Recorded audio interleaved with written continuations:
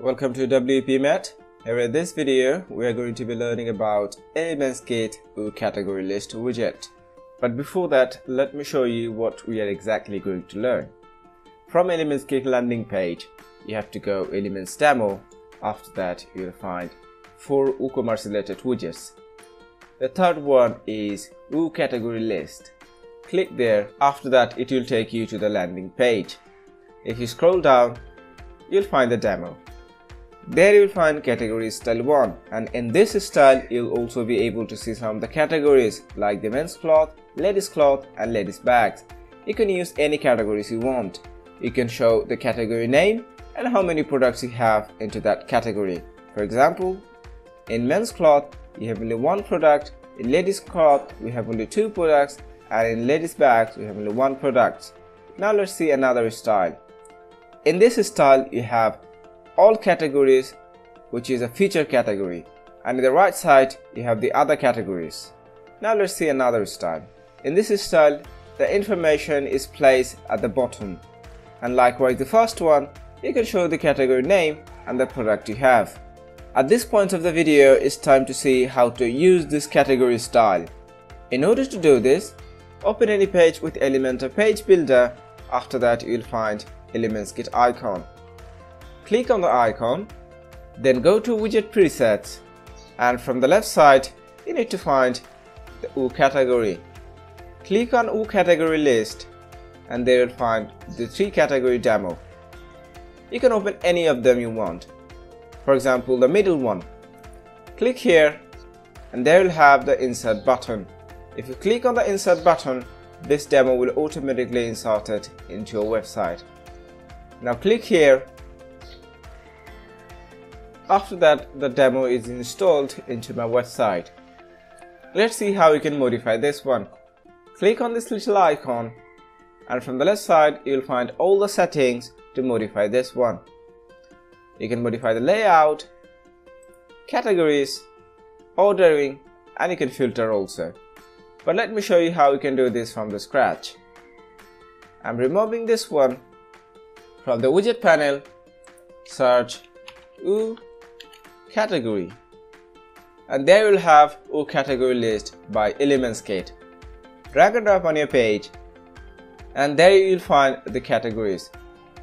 Now in this demo you cannot see any image for the category because I didn't use it. For your case if you want to use thumbnail you need to go to your dashboard then products then categories. After that open any category and click edit and there you'll find the option of using the thumbnail. Now click on update, choose any image, use image and update it. Now if you refresh it here, there you'll find the thumbnail. So this is how you can add a thumbnail. But let me show you the settings for the category. Click on this little icon and the right side you'll find the settings. The first setting we'll look at is filter by which is manual right now. From here if you select all, on that time all the categories will show. If you select manual, on that time you can select any individual categories you want. For example, I don't want to show the uncategorized option. Right now, I don't see it and you'll also be able to see by the parent. And the next one is order by. You can show the category by the name, slug, description and count. I want to show by count. On that time you can see I have 5 products, 5 products, then 4 products. And then you have the ordering. You can show in descending ordering or ascending ordering. Let me show you in ascending ordering. Now you have 4, 5 and 5. Then open the layout. Here you have label position. You can show the label inside of thumbnail and outside of thumbnail. Then you have enable feature category.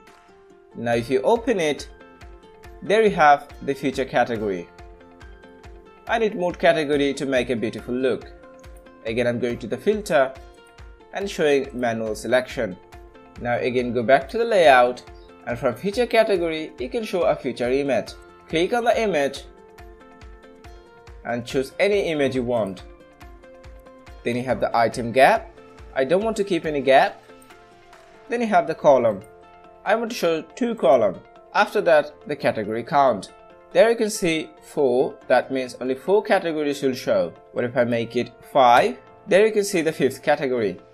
You can also hide the title and product count. I don't want to show any product count, only the title. Now if you go to the style, on that time you'll have the access to work with the typographic color and the position. From the item tab, you can work with the background color and the background color on hover. Then you have the padding, border type and border radius. After that if you go to the image, you can work with the width height of the image. Then you have again border and border radius. If you go to the label, there you have the label height margin, heading and the position. You can show from the left side, right side or from the middle. And you can also control the position of the vertical alignment. If you select top, on that time it will start from the top or if you select bottom, it will go all the way down. Then you have category title and from typography setting, you can work with the font size and font family. You'll also be able to work with width transform and style. I want to show the category in lowercase. After that, you have the product count. Here you have the typography setting, color setting in normal and color setting in hover. Now if you go to the feature category, there you have the width, label, margin, padding. You'll also be able to work with the horizontal alignment and the vertical alignment. In the vertical alignment, I want to show the product information from the top. Then you have the category title and from typography, I want to make the font size bigger. So this is how you'll be able to work with every sort of settings of this category widget. If you want to know more about Elements Kit or Products widget, please check the description. Thank you for watching this video.